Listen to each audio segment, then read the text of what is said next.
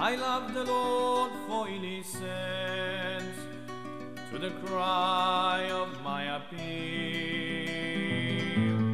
For he turned his ear to me on the day when I called him. They surrounded me, the snares of death, with the anguish of the tomb. They caught me I called on the Lord's name, Lord my God.